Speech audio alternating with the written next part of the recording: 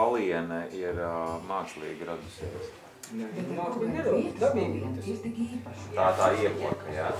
Jā, nu viņa ledus laikmetā laikam ir nu, veidojusi. Sēlija, augstākie, tas ir viss tepat vien blakus. Mums ir augstzeme, viņiem augstākie. Tas ir sievas galvas auts. Tāda nevienā citā novadā Latvijā nav. Viņš ir četrus metrus garš un saucās nāmats. Un šādu te viņai ir jāprot apsiet sev uz ap galvu, lai Ja būtu grib, nu, tautas ja grib staigāt. tikt pie vīra, tad viņai Jā, jāiemācās. jā, jā, un pašai arī jāsašuj. Tas viss ir arī pašas meitas roku darbs. Tur var apgulties šitai te gultiņā ar sienu matracīti, seņīciņu. Un tā ir divguļamā gultiņa, jo kādreiz jau cilvēki gulēja šādās arī laulātie, un tāpēc Vakar. bērni bija. Karotī. Tagad divmetrīgā gultā viens otru atrast Neatrod. nevar, un līdz ar to nekas neiznāk. Dabīgs. Jā. Dabīgais aspirīns, jā. Bebra dzintariņu uzkost, lūdzu. Prozīt. O, Uz veselību. uz jūsu veselību arī dzēn. Jā, paldies. Ilūkstas novadā ir 12 pilskalni. Ir pilns ar sankapu vietām, pilns ar šīm te senajām apmetņu vietām. Neko tik sen neesmu turējis. A to vecumu pēc vina daudzuma viņos nosaka? To vai kā? arheologi ir noteikuši. Jā, viņi to visu ir arī skatījušies, pētījuši. Pagaid, kas ir šitie? Krams ir šitas te krams, bet pie mums nu, nav krama Latvijā. Viņu dabā var atrast, kur Karēlijā, Polijā, Ukrainā kalnos šādu te. Dzirksteli uz, uzšķilt vai? Jā, bet no šiem pirmie cilvēki ir taisījuši tos savus ieročus visus. Un to visu te var atrast vienkārši pēc paliem pastaigājoties, tas viss nāk uz augšu. Protams, Katru pavasari kaut kāds katru jaunums. pavasarī, jā. Un te, nu, piemēram, tālāk pie traukus arī mēs tādus taisam. Tur mums ir tie trauki. Bez podnieku ripas. Tas viss tiek lipināts un taisīts. Kas tie par putniem ir, kas šeit liksto? Uh, Līgzdo šeit pļavu putni pārsvarā. Tātad mūsu dabas parka simbols ir grieze, mm -hmm. bet šeit ir arī tās ļoti rāds putnas Latvijā, kas ir astoņās vietās tikai ķikuts. Nu, un tad te ir sešas sugas ar ērgļiem dažādiem, te ir dažādi pļauju putni un, un vis kaut kādi ezera putni un vis kaut kas. Ir arī mānie stārķi. Aha. Mums katru gadu notiek putnu torņu cīņas arī pie mums. Ziniet, kas tas ir? Ja? Tas ir, kad ornitologi Kad ornitologi savā jā, četri gabali sēž un 24 stundas baro odus un skaita, cik viņi sugas saskaitīs. Mums ir divi putnu vērošanas torņi. Abos sēž un abos viņi skaita. Tad. Aha. Un nu, mūsu torņi arī abi divi ir kādu gadu bijuši pirmajās vietās. Mm. Vienā 98 sugas saskaitītas, vienā 96. Mm. Nu, bija pelikāns. Atlidojis. Atlidojis pelikāns pirms Apmaldījies. pāris gadiem ar stārķiem līdzi atlidojis pelikāns un sēž stārķu līgzdā. Bija Ar tā, ka pat uz skrogu bija puikas viņu atveduši. Kur viņš palika, nezinu. Kādā ziņā uz krogu? Nu, vienkārši viņš iekāpa pēc zivs busiņā un Jā. atveda pie kroga visiem atrakcijiem. Bija pelikāns atbrauc. Sveika, Landiņ. Benita traucē. Tad gaidi. Tā, tā. Viņa gatava jūs uzņemt. Parādiet. Kartē. Čeku te apsīta šajā stūrī. Pašā tajā kru krustojumā? Jā, jā, te viņas ir. No šitās te. te viņas. Te. Te. Reku. Atvedamies no mūsu lietuviešu drauga Andrusa un jau pēc desmit kilometriem būsim apsīšu pagalmā. On the way. Brīdam, brīdam. Paldies! Davai. Paldies!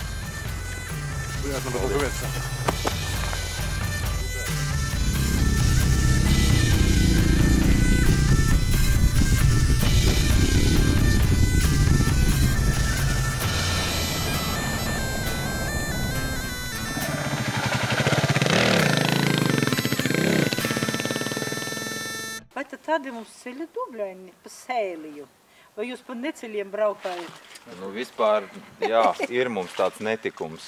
Pa neceļiem? Nepatīk mums tie lielie ceļi, un tad mēs meklējam visādus mazākus celiņus. Nopietnas, bet Sugatnieks bija pirmais, kurš selekcionēja Latvijas vīnogas. Tādas vīnogas, kuras iztur mūsu klimatiskos apstākļus, pat mīnus 30 grādos, viņas var mierīgi pārziemot un, un, un ražot. Jūs droši varat cienāties. Ā, jā? Garšo, Paldies. priekš, kam te mēs atnācām? Jā, Tik paskatīties nav vēl. labi. Tā tad nogaršojam. Garšojam. Nu, Latvieši. Zilgu. Jā, tā ir zilga. Sukatniekam, protams, bija akcents uz to, lai būtu salcietīga. Un tāpēc viņa vīnogas sabilē aug un ļoti jauki ražo. Un, kā zinat, sabilē ir ierakstīta Ginesa rekordu grāmatā, kā vis tālāk uz ziemeļiem brīvā dabā augošais vīna dārs. Mm. Tās jau nebija tikai vīnogas, kas viņu interesēja.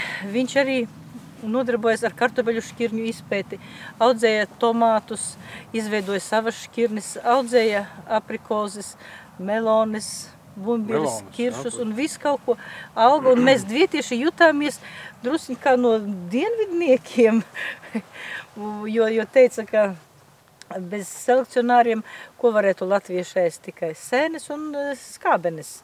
Bet selekcionāri savu roku ir pielikuši, un eh, mūsu pauls it kā Latviju ir pabīdījis uz div, par 2000 km tuvāk uz dienvidiem. Gan Sakiet, dzēju rakstīja, Ā, gan gleznoja, krāja akmeņus. Viņš teica, es esmu tāds kā dabas bērns. Un Tā pasaku grāmatas viņam patika, jo viņš uzskatīja, ka tieši caur pasakām varot to īsteno latvieša dvēseli izbaudīt un, un izprast. Jo kā ir latviešiem? Es trēdu viņam jūrām, es trēdu viņam kalniem, paņemam mēs lielu lāpstu un skrienam un meklējam to zelta ābeli. Bet izrādās tā zelta ābeli aug pašu dārzā. Un tā tā ir, un tā viņš teica, nu jā, mēs esam, mēs esam tādi kā mazi sprīdīši, kur gribas kaut kur iet, kaut kur ceļot, bet tas viss ir tepat, tikai vajag rakt, vajag rakt un stādīt. Vispusīgi apdāvināt cilvēks un arī krāja akmeņus, jo viņš uzskatīja, ka divu vienādu akmeņu nemaz nav tāpat kā divu vienādu cilvēku. Un akmens ir arī viena no senākajām matērijām, kur ir saglabājusi tādu sevi gandrīz vai kosmisko enerģiju un līdz mums nonākusi. Un šogad mēs svinējam akmens svētkus. Tā kā mēs katru gadu apspēlējam kādu vienu sukatnieka darbības jomu. Un šogad bija akmeņi, pagājuši gadu bija kartupelis un tomāts, tad bija āboli. Nu, tagad novatpētniecība vēl jāņem klāt. Tad vēl es parādīšu bezēršķu cidonijas, ko sukatnieks ir izveidojis. Redzat, viņam nav ēršķu, bet vienkārši tēju ar cidoniem. Tas ir ļoti, ļoti veselīgi. Paldies! Un redzat, kā viņš par sevi raksta nesaprastais. Es neprasu, lai mani saprastu. Es dzīvoju un strādāju pats savā pasaulē. Nesapratīs mani ne dzīves baudītāji, ne godkārīgie karjeristi, ne tie, kas strādā, lai savu naudas maku piepildītu. Es esmu dzīvās dabas daļa no meža kokiem, zvēriem, Putniem. putniem pļavām, laukiem un auglīgā un koptā dārza augļi. Vai es dzīvis par agru būtu, ka man saprast šodien par grūtu skats tālāk tiem nesniedz par degunu galu rītdiena nerūp, ka tik šodienai būtu biezāks rieciens un miegaina būda. Lai smej un ņirgojas prātīgi ļaudis, manus sapņus tiem postīt nav jaudas. Jāmet ir malā žēlabas gaudas, gan sapratīs mani nākotnes ļaudis. Tik jāatstāj tiem manas idejas sapni. Nu, re, Tātad jūs jūtat, jūs arī esat tie nākotnes ļaudis, ka jums tas interesē un jūs atbraucat uz šejieni. Tā Un sanāk. viņš tiešām tā jutās, un viņš jutās nesaprasts. 25 gadi te neviens nebija kāju spēris. Un nekas te neaug. Un mēs jau septīto vasaru atjaunojam dārzu, pamazām vīnogas stādam iekšā, veidojas muzejs un vīnkopības centrs. Mēs rīkojam dažādus izglītojušus seminārus, mācam apkārtējiem, kā pareizi vīnogas iezīmot, kā pareizi apgriezt, kā uzmodināt, mācam stāstam par vīnogu slimībām, mēs krājam materiālus, tos, kas jauni pienāk klāt par mūsu Latvijas šī brīža vīndariem un vīnkopiem. Nu, protams, arī saglabājam to, kas ir. Sukatnieka piezīmju klādes dažādas, kā viņš savus darbus ir, ir veicis. Tā, ka droši jaunatne var braukt uz dvieti, visu piedāvāsim. Visu.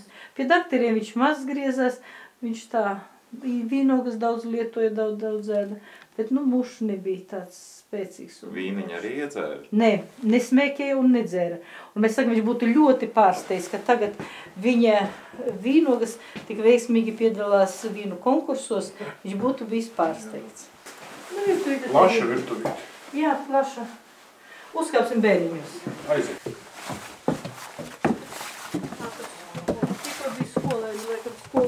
Sākums tādai mazai mūsu viņa darīšanas izzināšanai.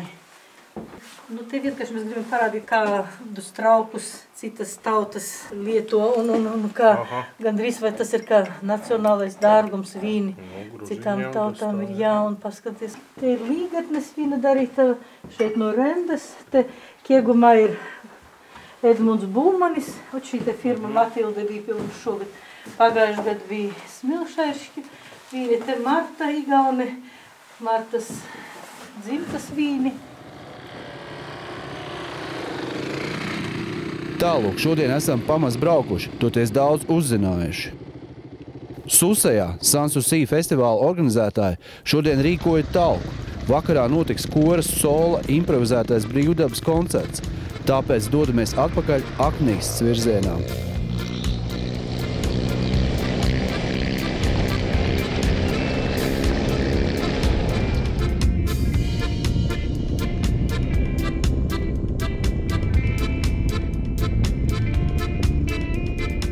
Vadot mūsu grupu nejauši izvēlētiem maziem lauku celiņiem, pēkšņi ieraugu navigācijā, ka mūsu maršruts iet gar mājām ar nosaukumu Moči. Labdien! Skaidri un gaiši moči. Pat ne moči, nekā, bet vienkārši konkrēti moči. Tagad mums radās tāds jautājums, mēs Desidu, tas ir vīra mātes eh, mājas un, un, un tā kā nezinu. Bet nav moči, piemēram. Nē, moči. Tieši moči. Tieši moči. Bet tad, acīm redzot, tas ir saistīts ar, ar, Neko, ar motocikliem. neko nezinām. Viņa ir ļoti veca, viņa 1900. gadā ir celta. iespējams moči vēl tajā laikā vēl tā īsti šeit nemaz nebija. Un te jūs tos močus tā kā, nu, reku sagaidījāt. Un Ko tagad darīsim? Par piemiņu atstāsim moču saimniekam Polaroid kobildi.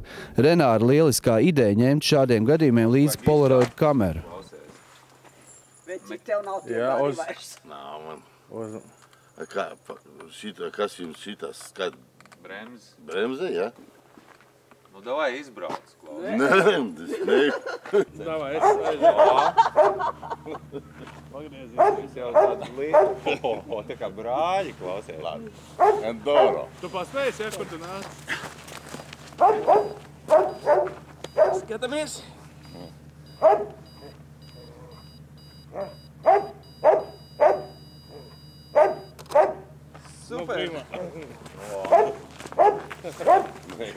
Nav, nav bērnu šeit. Vienkārši nav Bet jauno. tad ir tā, ka jaunie nebrauks atpakaļ. Nav, Protams. Tas, nav kas ko darīt. Man dēls ilūkstē, Krāslavā, aizgāja. Nu, kas te dzīvo?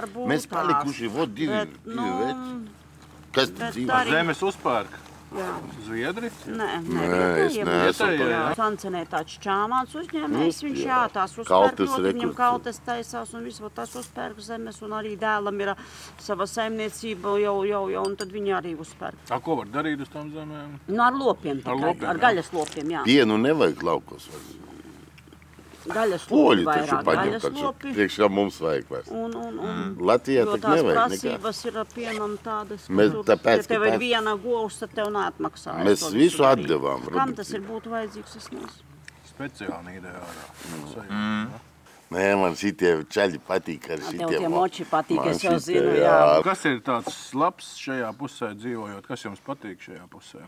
Viss patīk. Dzīve patīk. Nē, manam dzimtā pusē ir Nereta. nereta. Nereta. Jā, tas ir. Es sievu atradu Pagaid, tur. nē, tad tas ir kaut kur ar, Zināms, nu, tas uz. Rīgu, braucot pa to ceļu.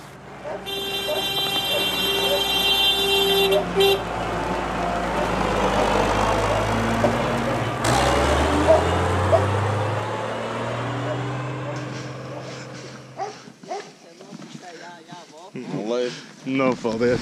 Nu jā, policija, te ir aknīs tā būs policija. Susējā Armāns Siliņa mājās atgriezīsimies drusciņi pirms tumsas. Talka jau ir beigusies. Nakts mežs, uguns, kur izgaismo skatu, fantastiska akustika un kora sola dziedājums diriģenta Kaspar Ādamsona vadībā. Tas viss suģestējoši iedarbojas uz mums, klausītājiem, kur esam stipri mazākā skaitā nekā kora dalībnieki. Ik pa brīdim saskatāmies, nespējot noticēt, ka nu pat nokāpuši no skaļas vibrējošas tehnikas, šobrīd piedzīvojam ko tik smalku. Nākamo ekspedīciju plānojam veikt pavasarī, tad turpināsim veidot 1836 enduro kilometru taku uz Kurzemes pusi.